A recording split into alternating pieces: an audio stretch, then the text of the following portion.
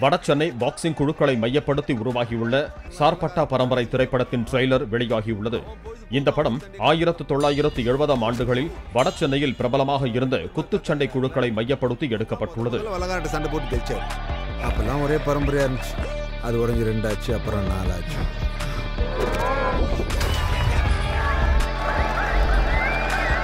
இந்த மெயின் போர்ட்ல வேம்பிளி அடிக்கணும்.